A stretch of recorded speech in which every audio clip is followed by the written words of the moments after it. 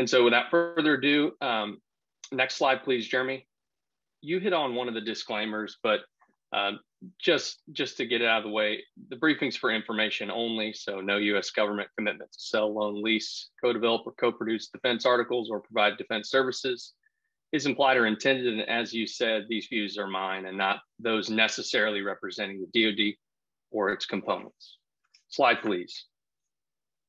So what we're going to talk about today is we'll start off with a real world example of the issue, mostly to kind of hammer home what what scope we're talking about here, because this is this is a fairly narrow area of the law and dealing with space. So not something people deal with. I know I had never dealt with this before coming to this command.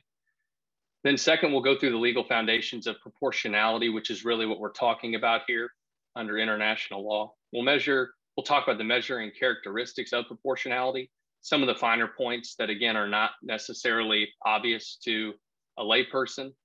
We'll apply the proportionality test. Uh, I'll propose a way to deal with foreseeability in measuring that, and we'll walk through three different types of examples of, of how that would look. And then we'll conclude. So next slide, please, Jeremy. So this is not necessarily the exact, a picture of the exact platform that was used, but in 2007, the Chinese government launched a ballistic missile or uh, called an ASAT, an anti-satellite missile, and they shot it at one of their own weather satellites. And this was to test the concept of their anti-satellite or ASAT capabilities, where quite literally they just launch a missile and then it detonates and hits a satellite on orbit. Next slide, please. What you're seeing here is a systems toolkit viewer of the 2007 ASAT five minutes post impact. So all of the green dots that you see there orbiting in that orbital plane are all of the debris pieces only five minutes post impact. So you can see that is a lot of debris in the orbit, obviously a lot concentrated around the impact site that's now orbiting our planet. And then next slide shows a couple things. So that shows 11 months post attack, the LEO satellites. So those are most satellites orbiting Earth, and we'll talk more about LEO or lower Earth orbit satellites, which are all about less than or equal to 2,000 kilometers or less above uh, sea level, mean sea level, that are orbiting the Earth. Most are less than about 800 kilometers.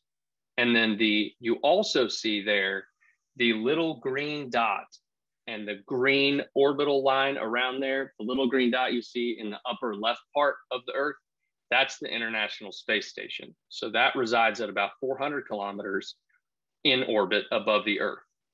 All of the red you're seeing is all of the debris, as much as they could track it, from the Chinese ASAT test. And then you see all the other dots are all of the other satellites in lower Earth orbit. So you see pretty quickly how this can cause big problems and how congested that environment can become. Next slide, please. So some facts about the, the 2007 Chinese ASAT test. Um, first, it's the largest space debris creation event in history. I put an asterisk there because arguably one could say a project called Project West Ford in the early 1960s the US government deployed a ton of copper wires and needles into orbit um, to try to enable a communications relay. And while it was not intended to be debris and did not result from an impact, the wires did not perform as intended and the project was scrapped. But some of those little pieces still remain in orbit. But in terms of purposeful creation of debris, this is the largest in history. So the results are three plus, uh, 3,000 plus debris pieces of trackable size, which is what they call golf ball size or, and larger. 150,000 uh, debris particles, so larger than one centimeter. And then over half the debris is above 850 kilometers in altitude. So we talked about that's kind of the general LEO range. Well, and we'll talk more about orbits in a little bit, but Um, higher up than that means it takes longer for those pieces to just gradually deorbit and then burn up in the atmosphere. So that means these pieces are going to be around for a very, very long time. And standard LEO orbital speeds, you can read some up to 34,000 kilometers an hour. Normally it's about 27, 28,000 kilometers an hour. The ASAT impacted at that, at that speed. So just to truly understand how fast that's going, that is what the orbits in LEO uh, typically are. And that'll create a revolution around the entire Earth in 90 minutes, 120 minutes, just depending on its speed and how far up it is. But that shows you that it's not hard to imagine all of the debris you saw in that viewer created because of the objects that are going that fast. And then kind of why this matters, this last bullet in our next slide. So in April 2011, a piece of ASAT debris passed six kilometers from the International Space Station. And that doesn't sound that scary because it's six kilometers, but from an orbital regime perspective, that's extremely close. And you'll see here in a second why, why that's really, really vital. So why does this matter? Why is all this debris? Why does it matter? Uh, next slide, please. So a few years ago, not from the ASAT debris itself, but a few years ago, um, a little tiny unknown paint flake or a very, very tiny small metal fragment struck the International Space Station. So the debris that struck the space station, and I italicize it there, is was no bigger than a few thousandths of a millimeter across.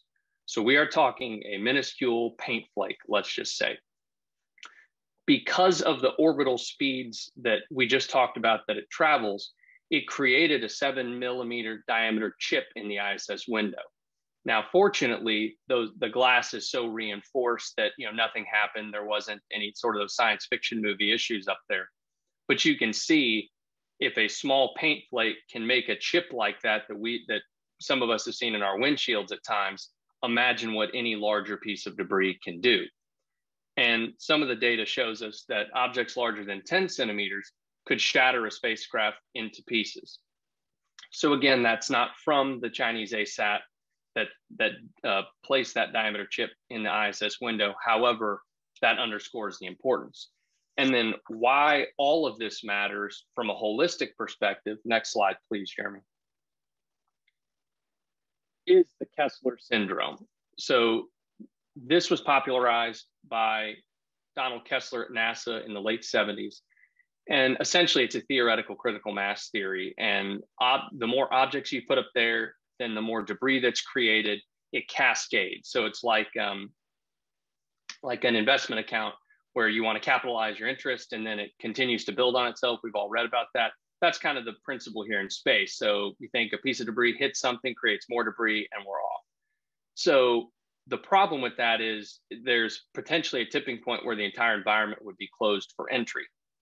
So shown in these four pictures here, the first is, you know, 1950s, what the Earth looked like with the orbital regime, and then progressing through the decades there, where the bottom right is actually what, you know, in a model, of course, what it looks like, our Earth being there almost glowing because of how many objects are orbiting.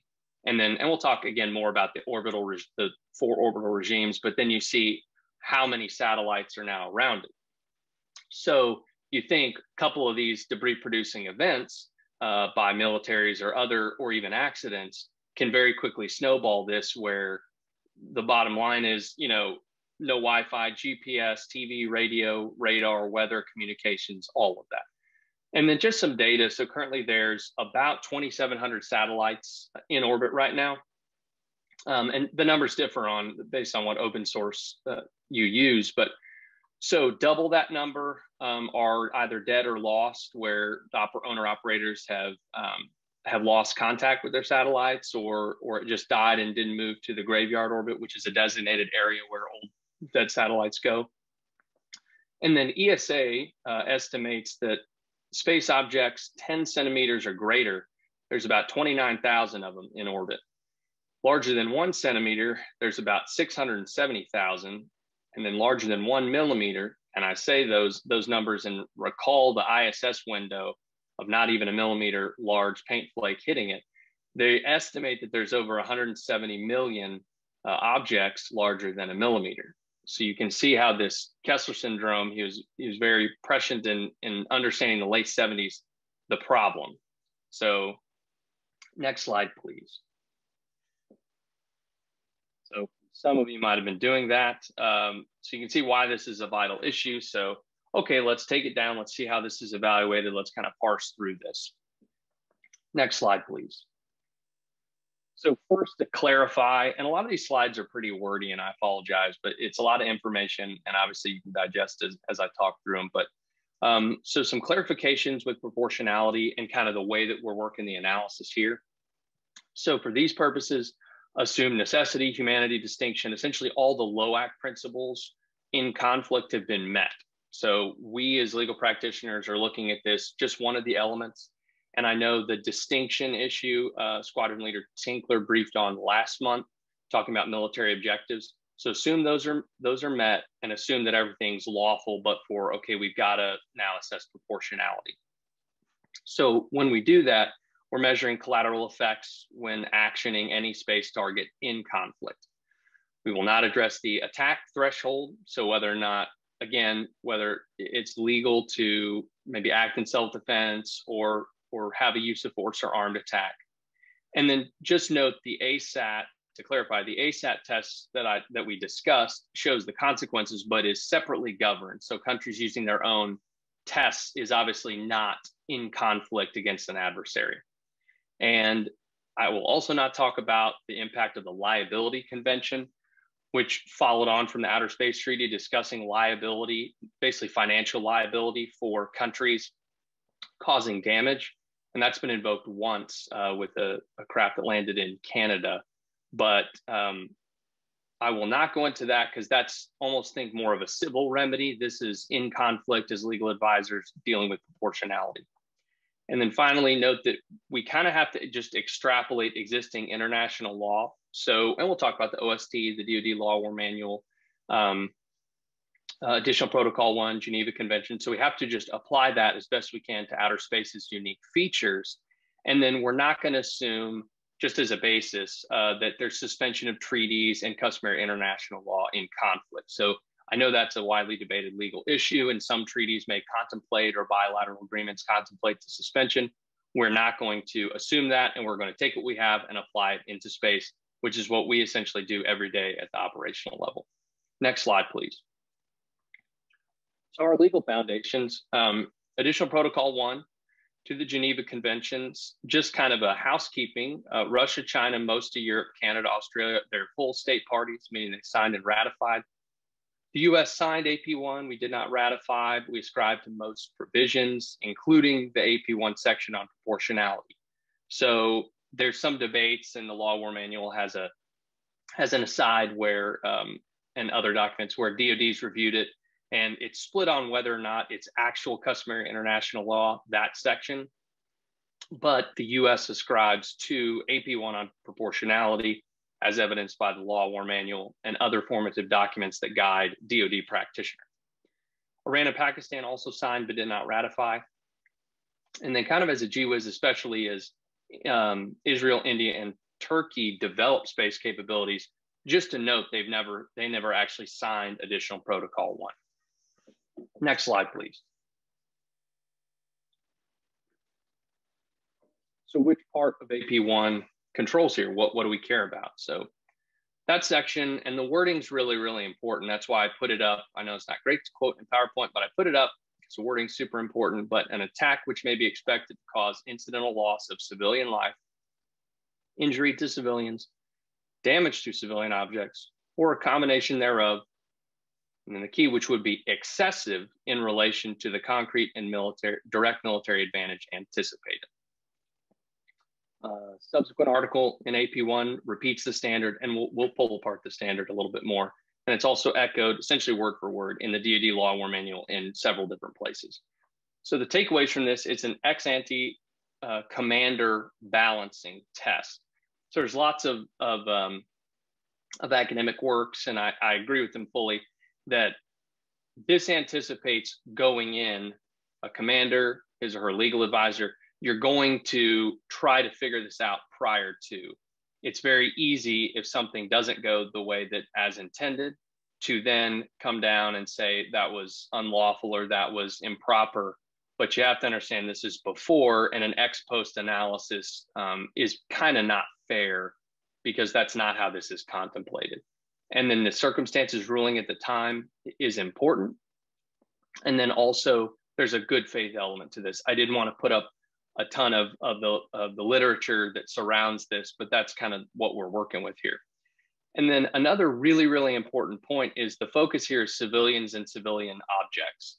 So there's really no such thing as a proportionality issue or a violation of, of proportionality if you inadvertently damage more military objects than you intended.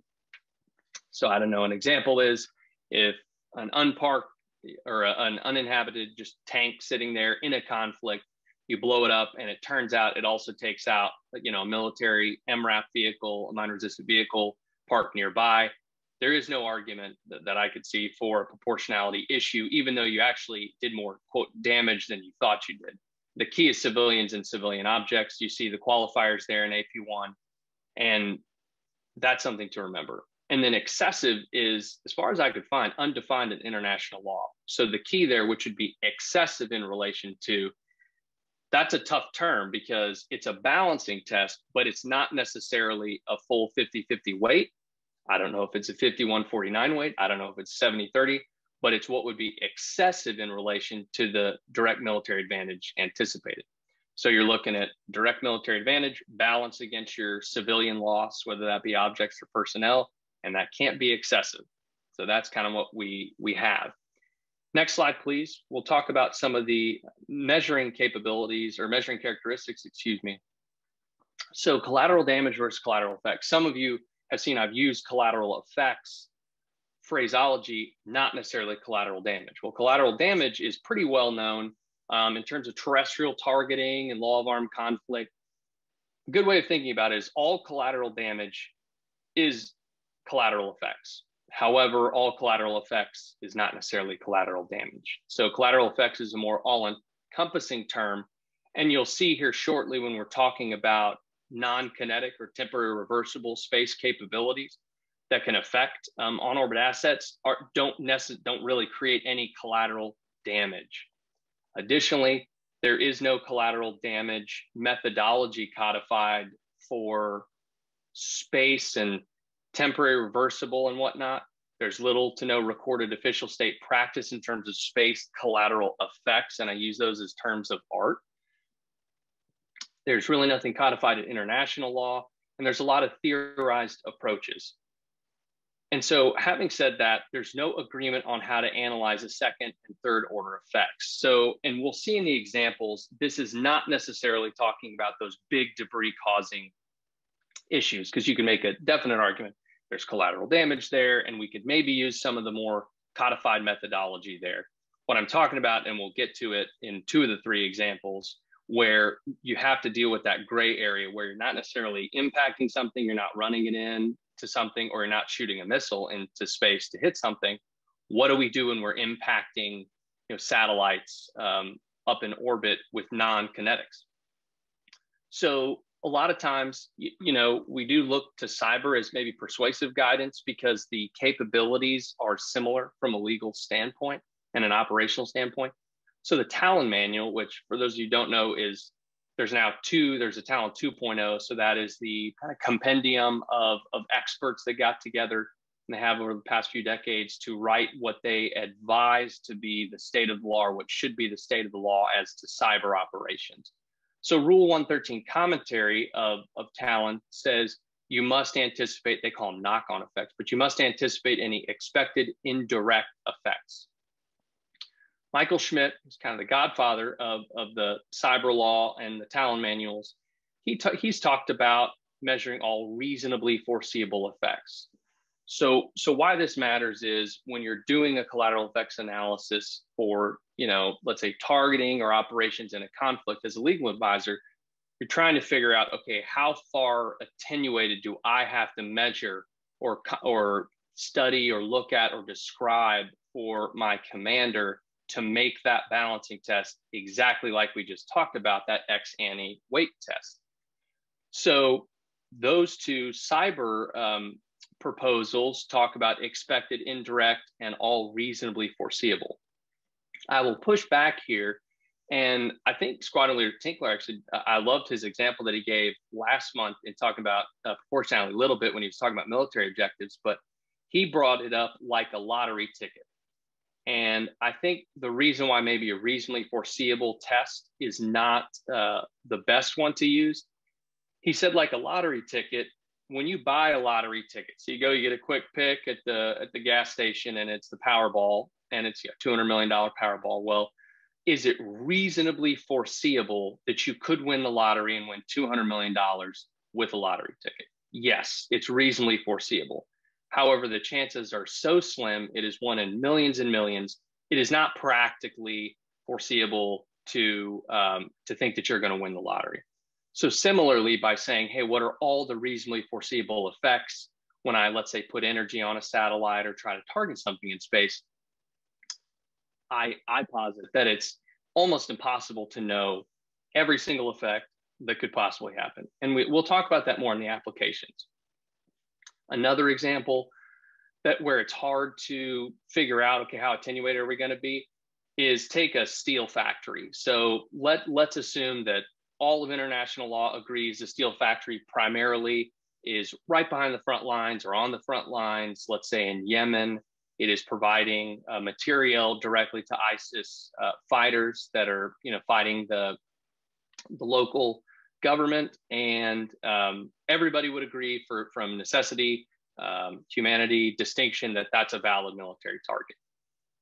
It would be hard to say or to know, oh, actually, in the morning that steel factory, which is a civilian owned technically, so it's a dual use target, and we'll hit on that. But that steel factory actually was going to deliver heart monitors and material to the local hospital, treating those injured and wounded the next morning. And you blew up the steel factory, and thus you inhibited the ability to provide for the civilian population.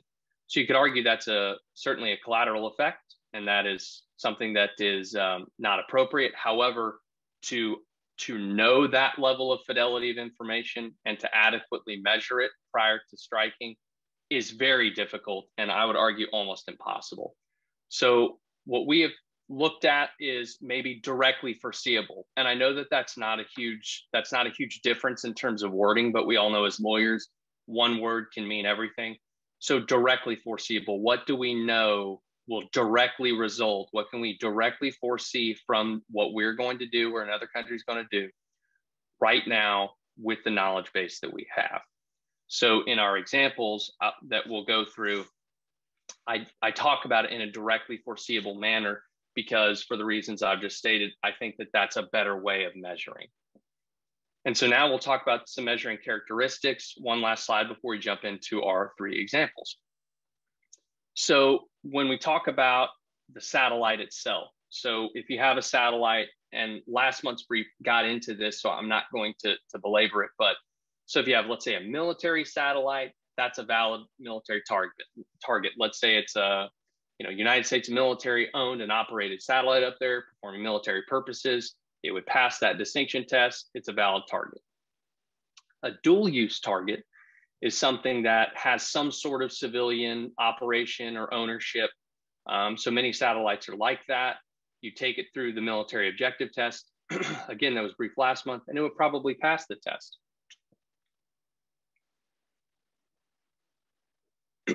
then you have non-military satellites. So truly commercial satellites owned and operated by civilians, have nothing to do with the military, without a doubt, that would be an invalid target. So, for the purposes of our examples or thinking through these things from a distinction perspective, under the law of armed conflict, we would think about either military or even potentially dual use targets. I talked about the LEO orbit earlier. So we talked about the lower Earth orbit, and just just so we're tracking and, and for fidelity, especially as we go through our examples. So MEO is what's called middle Earth orbit and that is around 20,000 kilometers uh, from mean sea level. That is a unique orbit. It's about 12 hour rotations around the Earth.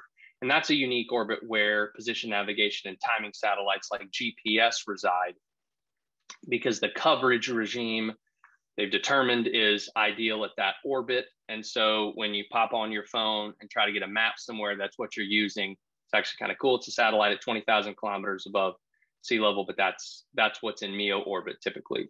GEO orbit is uh, geosynchronous orbit. And what that is, is about 35,000 kilometers from mean sea level. That is a point that matches the exact orbit of Earth. I think it's something like 23 hours, 56 minutes. Um, so that matches the Earth's rotation exactly, such that you are staring, the satellite is staring at one exact point at all times without uh, deviation. These are really good for communications satellites, weather satellites, and things like that. It would make sense communications because you want to be able to ping that satellite and come back and have coverage over those areas all the time. And then finally, highly elliptical orbits are, are very, as, as the name suggests, elliptical orbit. So think a very, very ocular orbit or oval shaped orbit where it, it shoots around very briefly one side of the earth and then dwells, you know, hours and hours and hours over the other side of the earth. These are good for, again, a very, very long extended uh, time, dwell time on a certain area. So again, lots of communication satellites are, are in that regime. Then when we say transponders, so satellites, communication satellites carry transponders, and they may carry several transponders on a single satellite. And that individual transponder can carry or relay you know, 20 plus individual signals to users on it. So one single transponder might be dedicated to you know a small number of users and areas, whereas other transponders on you know other satellites they may carry signals that are going to all over Europe and the Middle East or all over the US and Canada. So it just depends on the satellite and, and what it's being used for. But when we say that that word, that's what that means. Um, and again, a, a commercial satellite might have, you know, I don't know, 20 signals on a certain transponder running on it. And let's say one might be military. So that would be like a dual use satellite, of course and then you'd have to analyze whether or not it met the, the requirements for distinction to actually do something to it. Uh, but for our purposes, just note that those transponders can be really intermingled and mixed in terms of what they're carrying. And then finally, when we say signal, we're talking about one individual you know, RF radio frequency signature that is, that is going up through a satellite and to a user. And when we say uplink and downlink, we're talking about how that signal environment or when essentially during the signal path it might be looked at or targeted or what have you. So if you're getting after an uplink, an uplink, let's say for just simple purposes, is coming up from a TV station. So let's say, I don't know, NBC is pushing up an uplink signal. It will hit a satellite, uh, hit, go through a transponder, and then that signal is shot out to all different users all over the place. So if you affect an uplink, you're, as far as I understand it, then you would potentially affect all the downlinks. Whereas the downlinks are where you have those individual signals on them going to that individual user. So for our purposes here, that's when I use these terms here momentarily when we're looking at studying it, and this is the level of fidelity that I think space legal advisors have to get down to, and why the learning curve is pretty significant. Is and one of my recommendations for anybody that wants to get into this is you have you have to understand, and that was just one slide. I mean, you have to understand the absolute details, just like in cyber and uh, and other not necessarily non-terrestrial um, based systems and platforms. You got to get with your planners and operators. You got to understand the capabilities and what you're really dealing with. Because if you're asked, hey, okay, what's my collateral effects? If you don't know what signals are like, you don't understand how transponders work, you can't, as a legal advisor, make those uh, recommendations. So now with our legal and operational framework, we can go ahead and start applying what we have talked about. Next slide, please. So let's apply this in our first example. So think essentially like the 2007 ASAT, but let's pretend that instead of a test on their own satellite, some country in a conflict blew up, let's say, a US military tracking satellite. So again, um, or let's say we wanted to do that to somebody. Um, so let's we would need to balance for proportionality, and again, assume all the other tenets of of LOAC are met. We would have to have to balance the damage to civilians and civilian objects, and whether or not that is excessive versus the military gain expected, the direct military gain. So we would ask, okay, using that term of art that we talked about, what are the directly foreseeable effects in the circumstances ruling at the time? I say directly foreseeable again, not reasonably foreseeable, not possible. Directly going to happen from this. Well, we know, and the example that we started with today shows that the immense damage to the orbital environment essentially will occur. We know that for sure. Now, the level of fidelity that the mapping will, will do or that the folks are able to study, you know, that obviously depends on capabilities and where you're at. But we know for a fact that was easy to see tons of damage to the orbital environment, especially if lower Earth orbit, like I said, because about you know two thirds, let's say, of satellites are in lower Earth orbit the damage will be to all, so including civilians, other militaries. So I say other militaries, and you might think, well, you just said that that doesn't matter, but I'm thinking other countries' militaries that are not in a conflict. And then human spaceflight. We saw just a tiny, tiny fleck of paint can uh, gouge a window of the ISS. think a larger, um, a larger piece might actually have you know, fatal consequences. So also the satellite itself if civilian owner operator like we talked about before it's not even you know a valid military target. And then one caveat though is the weaponeering the impact angle the speed orbital regime all of that matters. So a simplistic example is let's say the ASAT device shot straight up and impacted as it's traveling up from the atmosphere on the satellite. You can imagine the impact and orbital debris would shoot, you know, up essentially in layman's terms, up from the orbit, pushing it further away from the atmosphere and blowing it more into the orbit uh, of the Earth, and which would now take longer to come down, longer to work its way out. On the other hand, if a missile were to actually hit a satellite coming down, as I understand it, coming down towards the atmosphere, it would blow the debris towards the atmosphere it would reduce the amount of debris up there, certainly the length of time it was up there. And then most of it would burn up hopefully sooner rather than, you know, centuries, which is potential. So those types of issues um, matter in terms of how much debris are we actually talking about in terms of our directly foreseeable effects. And those are, God forbid, we ever had to truly advise this, that would be the questions that you would probably want to ask. And then you balance all of that against the concrete and direct military advantage gained, you know, quoting straight out of AP1. So what would happen? Okay, what if if a military wanted to do this? Well, you're probably neutralizing some, if not all, of adversary space capabilities at that point. Because if you're if you're going to ruin the orbital environment, if not the moment it happens, you know, soon now that everything's going around there, it's almost like you're shaking up a, a Coke can or something. At that point, you know that especially if you do more than one or multiple. And again, depending on how you're going to strike it, you're going to wreck a lot of the orbital environment. And so I always say it's obviously conflict and actor dependent on that military advantage gained. The law war manual talks about that a lot in terms of the circumstances. And so I underline existential because I would find it difficult to imagine as a legal advisor where you could ever argue that you would find or that you would advise to a commander that, yep, my, uh, you know, the civilian potential loss here is um, not excessive compared to your military advantage gain. I would have to think um, it has to be an existential crisis for for a country, and essentially they would need to say we have to just shut down space. Our adversary has such a control over space; they're enabling all their operations so much. We have to just close it off for their use and otherwise we risk complete you know existential crisis so fortunately this wasn't an issue uh, back in world war one world war two but you could see how heaven forbid that this these types of conversations would happen in those types of existential crises. But a regional or even potentially global conflict just among you know let's say powers um, i find hard to believe that that they would pass that uh, proportionality weight in those circumstances. So now we'll go to a less ominous example. Uh, the second of three applications are non-temporary and non-reversible effects to an on-orbit satellite.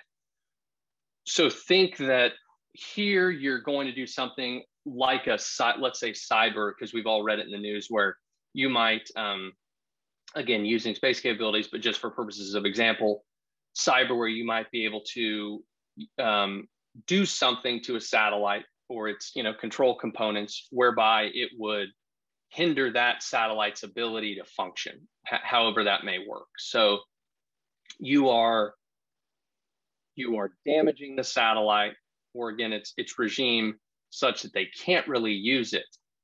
And so what are the directly foreseeable effects um, in circumstances ruling at the time? So the Tallinn manual talks about for measuring whether or not an attack has occurred talks about okay maybe there's a distinction between re- having to replace physical parts.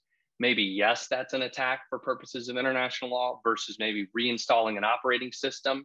Just having to essentially think you know on your computer you've got to reinstall windows or something on a satellite or a cyber or a cyber system maybe that's not an attack and i i'm not talking i'm not using those examples conflating the two improperly conflating the two of attack analysis versus proportionality uh, for a, a proper LOAC strike. But I liked those examples because it helps us think about okay, in terms of directly foreseeable effects and what we're balancing, I think that shows a good hierarchical order of okay, if we know all they're going to have to really do is reinstall an operating system, so it might be a couple hours. That helps us as legal advisors understand when we're talking to our commanders about balancing that uh, civilian loss versus a military gain. Whereas, let's say, yeah, you're actually going to essentially break that transponder where they're either going to have to shut it down, they're going to have to fix it. I don't know how they're going to get it fixed in space. That would be a different proportionality thought. Again, all, all talking about civilian objects. That would be a different level of analysis and weight versus those military gains. Again, same here. Weaponeering matters, extent of effect matters, what you're doing, the extent of civilian use matters. Again, like we talked about, if it's a you know civilian satellite, which is what we're talking about here, or if it's a governmental satellite where civilian signals are running on it, that all matters from a civilian collateral effect standpoint for us as legal advisors, because how based off of the effect you're trying to use, how extensively are we actually affecting civilians as well as obviously our military targets? So the extent of a civilian use on a satellite, let's say you have a commercial satellite and there's, I don't know, 50 signals running through it. One is military and the other 49, and we'll talk about signals as I note there in the next example. But um, if it's only one military and we're going to force to replace physical component parts of a satellite, again, that matters on our balance. The next bullet there, that matters on our balance. What are we actually gaining military advantage wise versus damaging civilians? So, okay, let's say we do this. We can neutralize a specific adversary capability like intelligence, surveillance, reconnaissance, or comms, or something like that. And again, of course, it's going to be conflict and actor dependent. So, is this a, just a regional uh, dust up? Is this some sort of global um, conflict? This is maybe a more practical thought exercise than maybe the destructive tests in, in a you know non-existential conflict where you would actually really have to question this and look and you know maybe a, a commander uh, through using international AP1 and through its country specific guidance would actually say, yep, this is viable. This is the collateral effects are not excessive compared to our military advantage gain. We know we're going to break some of the stuff on the satellite. Um, not speak about any capabilities that could or could not do that or how that would work. I'm not 100% sure, but that's definitely something that that would come into play. Um, next slide, please. We'll go into our last example.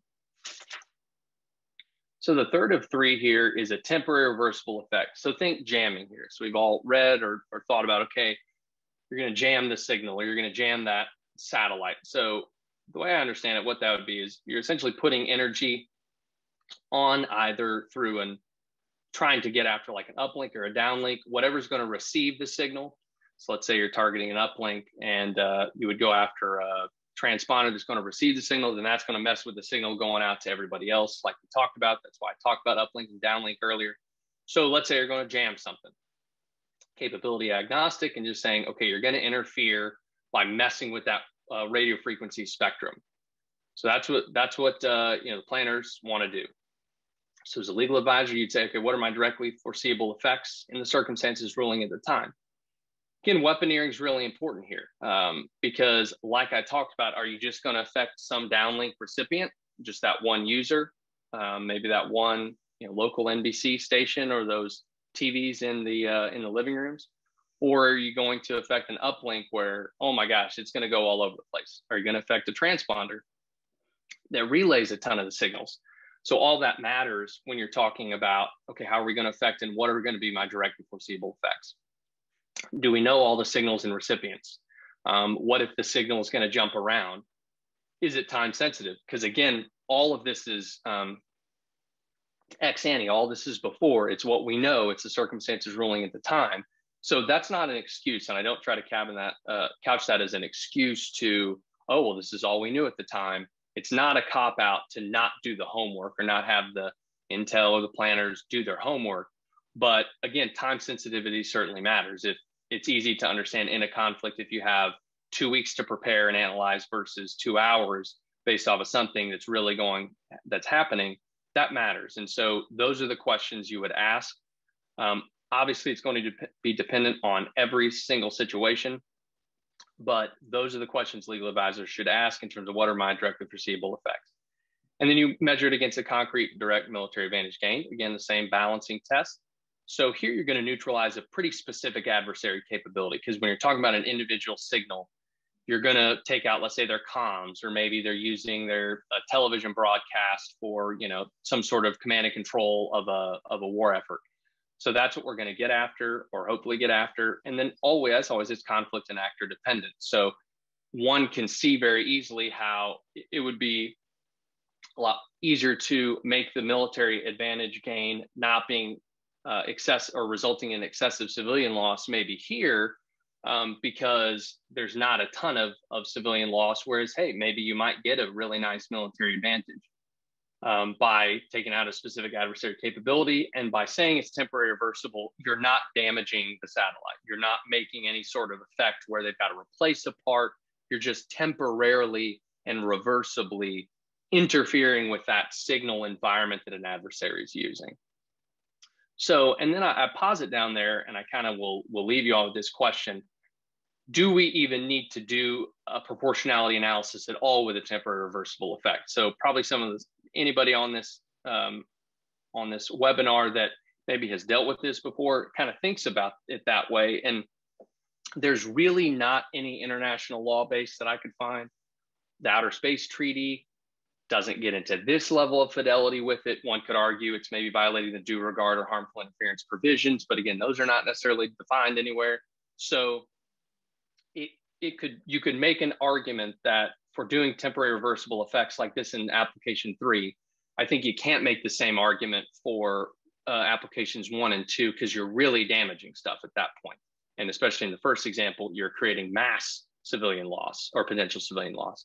But in this third example, if we're just doing a temporary reversible effect, is there anything really unlawful about that? Or is there anything that really you could say um, is actually a directly foreseeable effect that we have to care about because it's just temporary reversible. So, for proportionality purposes, again, not dealing with whether or not this is an attack under international law, whether or not not dealing with countermeasures or retorsions, but from a proportionality analysis in conflict as a legal advisor, one could argue, and I don't think it's settled in international law, if it's just temporary reversible, do we really even have to do the proportionality analysis? I would advise, just in my personal capacity, it's probably wise to. Um, it's probably a good, responsible state actor practice to do it. But there's an argument out there, and I wanted to at least address that. So now, with about 12 minutes remaining, Jeremy, I was close to my target. Um, I will open it up for questions. Uh, and yeah, sorry, there's the conclusion. That's what we talked about. Any questions, I will stand by, and I appreciate it.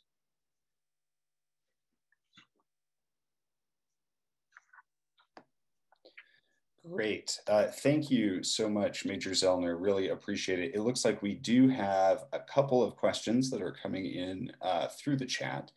Um, first question um, which uh, is sort of written in the form of a comment, but I'll kind of questionize it, uh, is from um, Kies van Haperen. Uh, and so um, uh, Mr. Van Haperen wants to ask about example number three.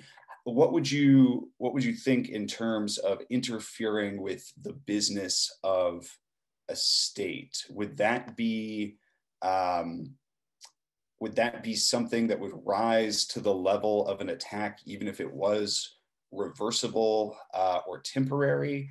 Um, or could that proportionality uh, test maybe come into play if the business of a state was significantly interfered with based on whatever this temporary or reversible effect to the satellite was?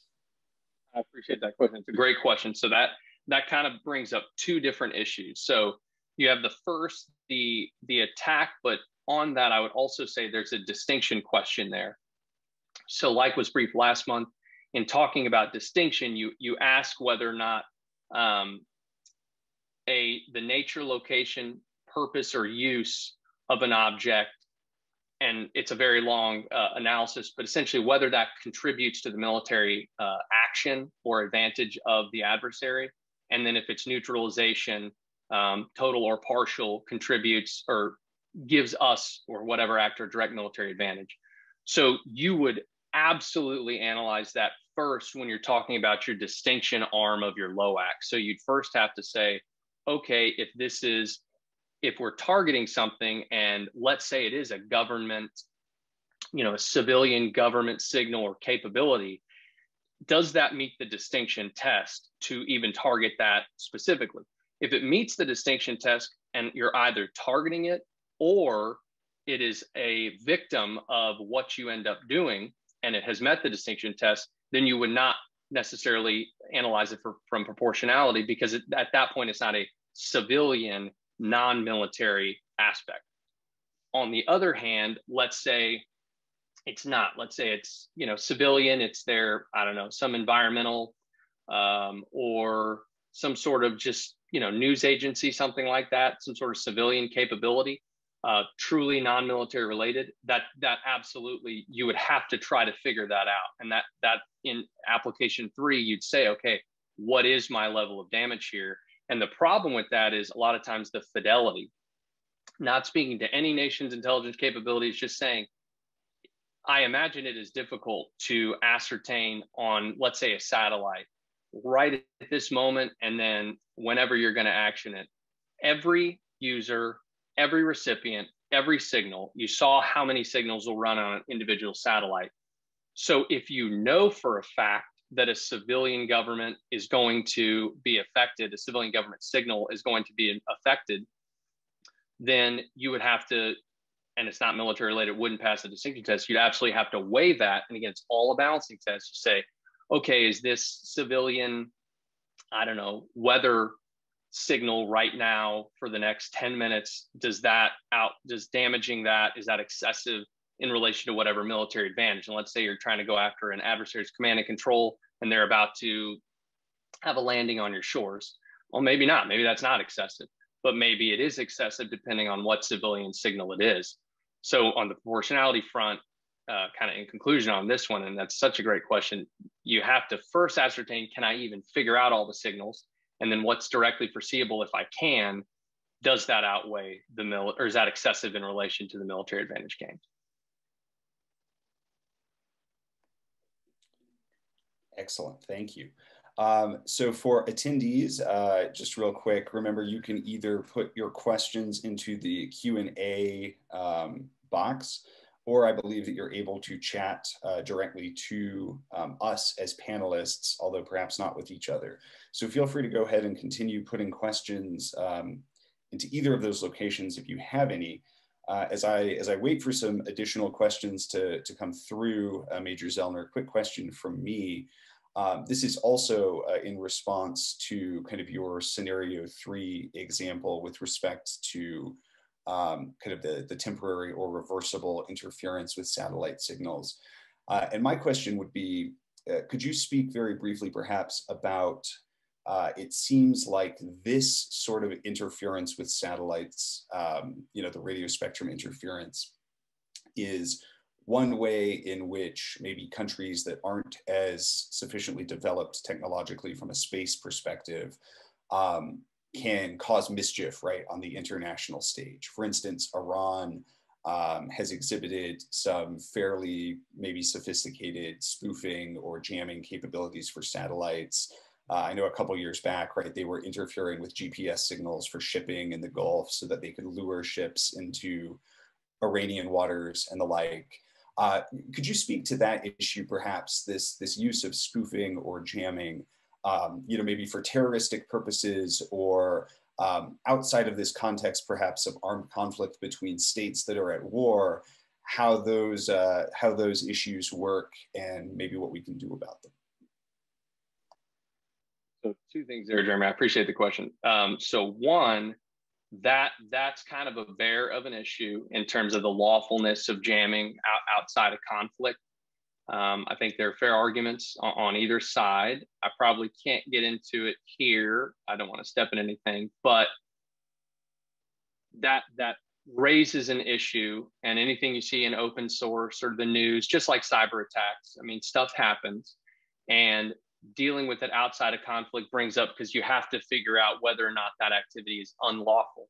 If it's unlawful outside of conflict, we know that that countries um, through the Nicaragua case and the customary international law that's developed since then could potentially resort to countermeasures, where a nation can act unlawfully in response to an unlawful act to try to get that actor to stop its unlawful act must be necessary and proportionate, and then it must cease once the, the unlawful actor has stopped its original unlawful activity. So that obviously underscores the unlawfulness to be able to conduct a countermeasure. Now, if you argue that it's lawful, then uh, I guess a country could do it back uh, in a lawful manner. And then if it is unlawful, also you could do what's called a retorsion under international law. It's talked about, um, again, in international law and the DoD war, Law War Manual, where you you perform a lawful act in response to an unlawful act, you're essentially justifying your lawful act to similarly try to get the actor to stop an unlawful act. So think about severing of diplomatic relations or an embargo or something like that, that would try to press that actor into stop its unlawful act. On your question of a country with less space capability, you know, jamming or spoofing or even debilitating other country space capabilities, I think that comes exactly into conflict and actor dependence, your weight. So if let's say if we were a country with little to no space capabilities, um, but we had a an ability to interfere with the adversary space capabilities pretty easily, then your military advantage gained is so much more versus any sort of civilian loss in that balancing test because like i talked about even with an existential crisis so if if our country has virtually no space capabilities and we can debilitate the other actors space capabilities, which we are absolutely getting killed on right now because we have nothing. Uh, no play. We don't really have, you know, radar and comms and all that like the other adversary does. The gain, the military advantage gain, is huge for us. Weighting that against any civilian loss. So I think that's where that would come into play if you are an actor without a lot of space capabilities versus being able to say, well, their space capabilities are not are not really impacting the fight as much, or we have so many redundancies, it's not that big of a deal. Hopefully that answered the question. No, that was great. Thank you. Uh, any further questions for Major Zellner? I haven't seen anything else come into the chat. I'll just give it, uh, you know, maybe another minute or two. I know that we're approaching our uh, 9 a.m., um, at least Mountain Time, uh, kind of hour cutoff.